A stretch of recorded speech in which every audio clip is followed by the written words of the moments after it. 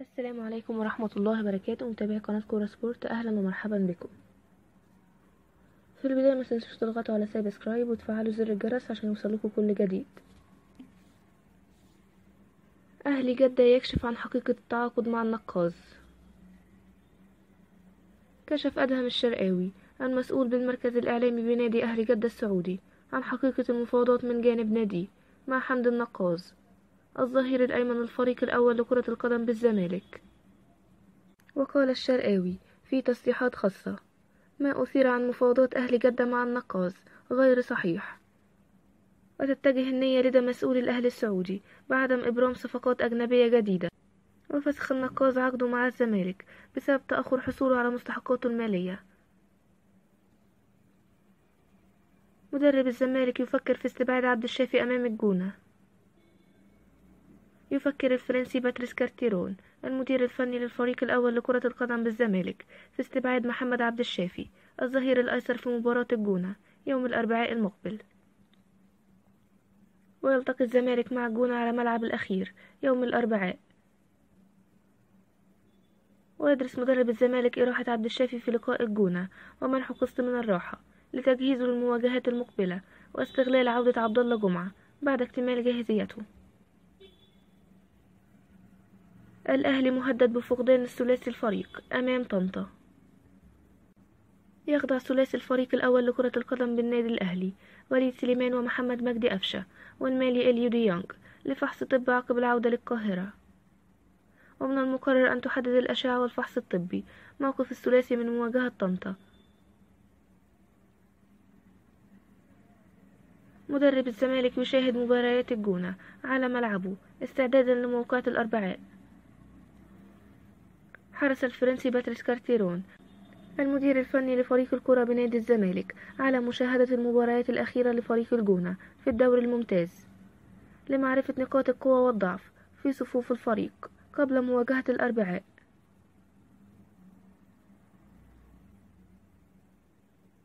تعافي حسين الشحات من الإصابة التي لحقت به مؤخرا وسيتواجد أمام طنطا.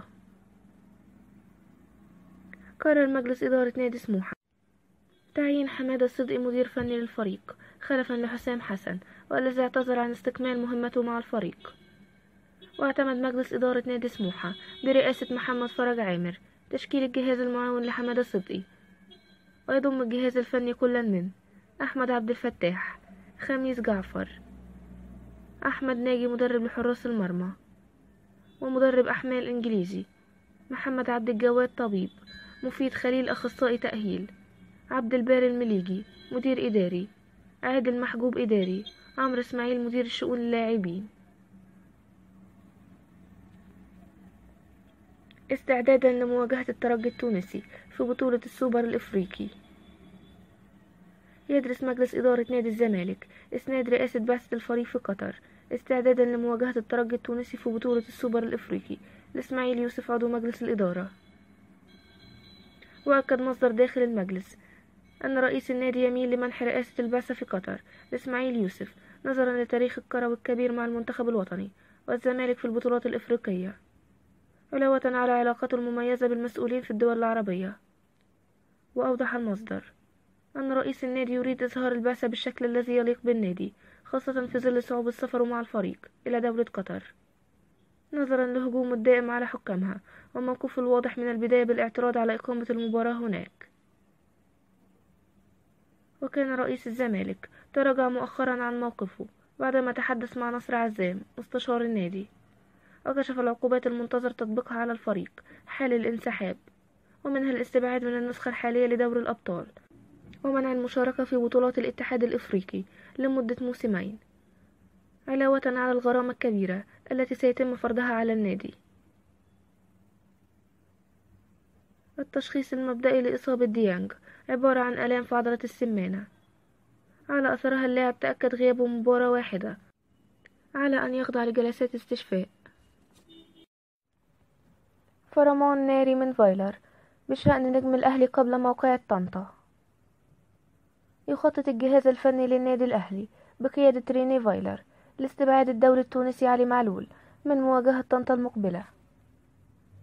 وجاء تفكير فايلر في استبعاد معلول للدفع بمحمود وحيد على ضوء جاهزيته من الناحية الطبية من عدمه أو الدفع باللاعب أيمن أشرف في مركز الظهير الأيسر بالإضافة لمعاناة معلول من الإجهاد وتأثر مستواه الفني والبدني بشكل كبير.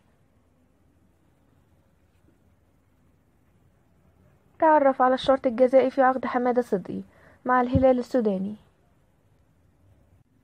كشفت إحدى الصحف السودانية عن بند في عقد حمادة صدقي الذي استخدمه حتى يرحل عن صفوف الفريق الأزرق. وقالت الصحيفة أن صدق استفاد من الشرط الجزائي في العقد الموقع بينه وبين الهلال الذي ينص على أنه إذا قرر الرحيل يدفع راتب شهر واحد فقط.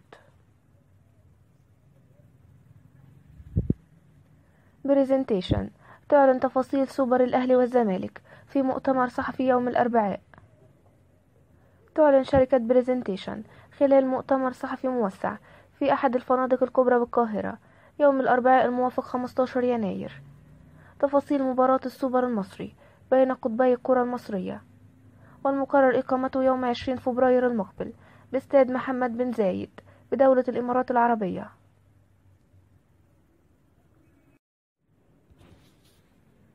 شرط الأهلي لإعارة صلاح محسن لسموحة.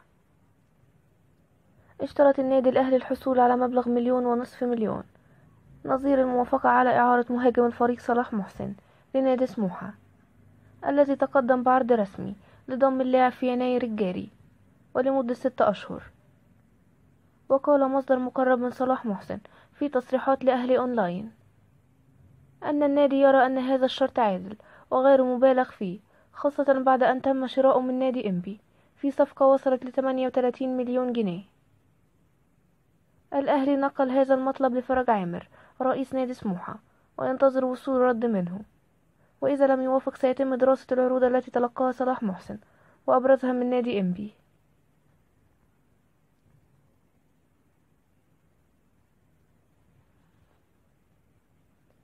بيان ناري من الزمالك عن السوبر الإفريقي. قطر أرض الخيانة وملف المباراة على مكتب رئيس الجمهورية. أصدر المستشار مرتضى منصور رئيس مجلس إدارة نادي الزمالك. بيان رسمي منذ قليل. من أجل توضيح موقف الفريق من خوض مباراة السوبر الإفريقي أمام الترجي في قطر. وجاء نص البيان كالتالي. يؤكد نادي الزمالك أن ما نشر على موقع الدستور بأن إدارة النادي قررت خوض فريق الكرة الأول بالنادي مباراة السوبر الإفريقي مع فريق الترجي التونسي في قطر. هو خبر كاذب. شكلا وموضوعا. ومن قام بنشره شخص كاذب وذلك لأن قرار مجلس إدارة الزمالك كان عدم خوض المباراة على أرض الخيانة التي تحرض على قتل أبنائنا من أبطال الشرطة والقوات المسلحة. كما يشدد نادي الزمالك على أن ملف المباراة بالكامل. سلمه رئيس النادي للدكتور أشرف صبحي وزير الشباب والرياضة لعرضه على القيادة السياسية والأجهزة الأمنية.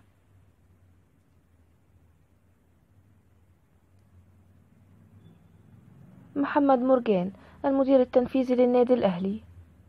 الإدارة القانونية وإدارة العقود. انتهوا مؤخرا من إعداد العقود النهائية الخاصة بمشروعات الوحدة الاقتصادية للنادي مع شركة استادات. الأربعاء مجلس الأهلي يعقد اجتماع هام برئاسة الخطيب.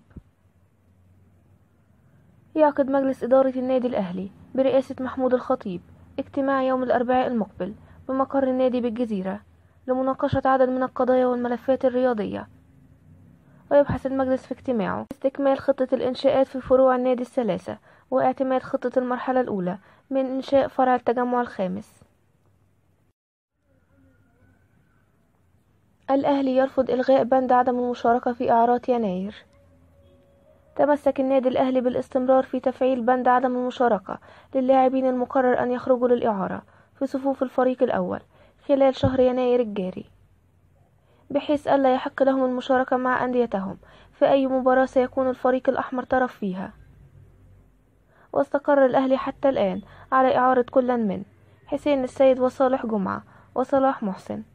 بعدما تلقوا عروض رسمية في فترة الانتقالات الشتوية الحالية. فيما لا يزال موقف عمار حمدي غامض لتمسك ريني فايلر مدرب الفريق به. فرج عامر سموحة بريء من رحيل حمادة صدقي عن الهلال السوداني.